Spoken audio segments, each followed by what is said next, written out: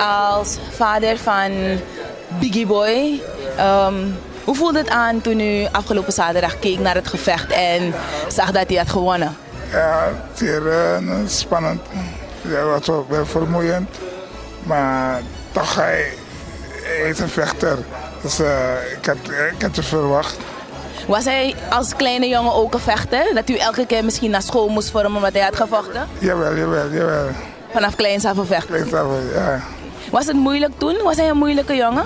Nee, niet zo, niet zo moeilijk, maar kop, wel koppig. Wel een koppige jongen. U bent zeker wel trots op hem? Jawel, jawel, zeker. Wat wilt u hem zeggen op deze dag? Ja, dus uh, nee, Suriname gefeliciteerd. En eh, met een zo'n grote overwinning. Ja. Hoe doet het u? Want u bent volgens mij bij alle gevechten van hem geweest in Suriname. En waarom zo'n support vanuit, eh, van u naar hem? Nou, ik ben een vader, dus eh, ik ben echt trots. Goed, gefeliciteerd.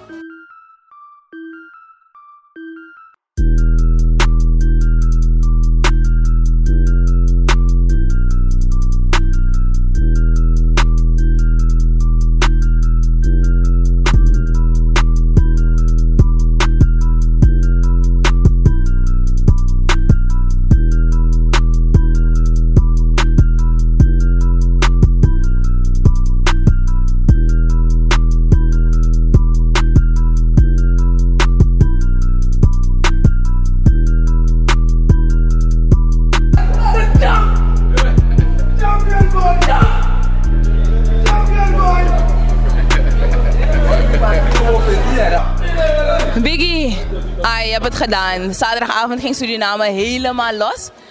Op dat moment, hoe voelde je je? Nou, heel goed. Het is een geweldig moment. Een hele leuke ervaring. En ja, we hebben het samen gedaan, dus ja. Echt een jongen van Suriname, in Suriname getraind, hier opgegroeid. Eigenlijk nooit echt in het buitenland gebleven. Wat is je boodschap naar een jongetje van vijf die eigenlijk denkt dat hij helemaal geen kans heeft?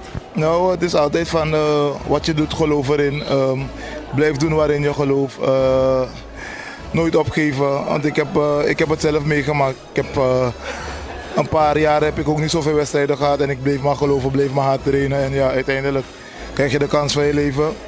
En het gaat goed. ja, is gewoon top, is gewoon goed. Dus ja, wat ik zou zeggen, believe in jezelf. Altijd in jezelf geloven. 2019, je hebt een hele grote stap gezet en Suriname verwacht nog zoveel meer van je. Mogen we daarop vertrouwen dat het goed komt? Ja, natuurlijk. Uh, het is pas de eerste keer en het is, uh, hoe moet ik het zeggen? Het is het begin. Ik heb het goed gedaan. Uh, er, is heel veel er zijn zoveel vragen van oké, okay, wat gaat er nu gebeuren, wanneer? Ik heb nu verplicht zeven dagen rust, dus ik ga dat gewoon doen en daarna ga ik weer babbelen. En ja, ik denk misschien over twee maanden is er weer wat op komst en dan zijn we gewoon weer hard in de bak. Biggie Boy is nu eigenlijk echt die Biggie Boy van Suriname, toch? Natuurlijk. Ja? Goed, gefeliciteerd. Dankjewel. Kebab, coach van Biggie Boy. Waar kwam, van waar kwam het geloof in hem? Um, ja, ik begon heel vroeg in uh, Rens. Uh, daar heb ik ze ontdekt. En is altijd een vechter geweest. En altijd tegenstrijder. Je zag al vanaf het begin al dat het eentje zou worden die groot zou worden. En ja, hij is altijd loyaal geweest. En vandaar, ik zeg ook, uh, dit is misschien het begin lijkt het voor ons. Maar we zijn al heel lang mee bezig om deze top te kunnen halen. En nou laat hij zien dat hij de eerste Surinamer is op de UFC-bodem. En ik kan u zeggen, dit is een hele andere level. Er is geen glory. Er is niemand. Op dit, dit is het hoogste level wat je ooit kan halen met, qua gevecht. Wat denk je dat uh, Jersinho zijn sterkste punt is als je hem vergelijkt met de vechters die hij tegen zou komen? Hij heeft een vechtershart. Wat er ook gebeurt, hij gaat altijd willen winnen. En, en dat, dat, laat hij ook merken. En vanaf 2013 heeft hij nog geen enkele partij verloren.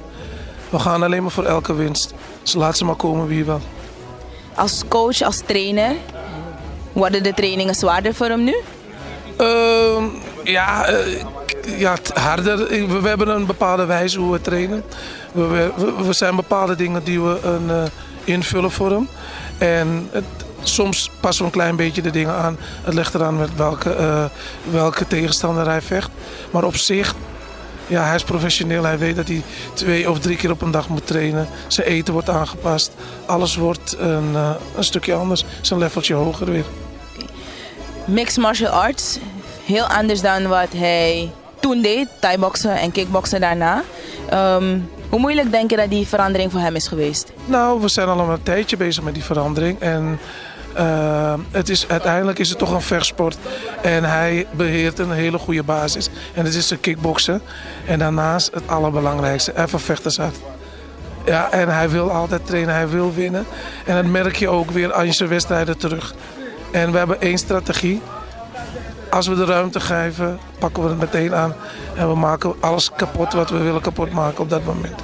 En daar komt hij voor.